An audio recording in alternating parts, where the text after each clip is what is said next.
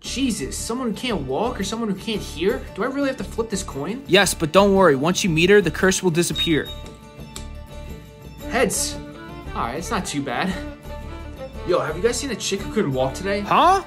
Well, that person's my wife, and I need to find her so the curse will go away.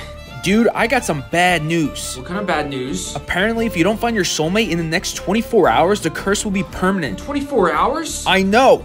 Mr. Caherly, if we drop you in the ocean, would you Uh, no, I can swim, Mrs. Smith. Perfect. You'll represent our school in the swimming match tomorrow versus Cornell. Cornell?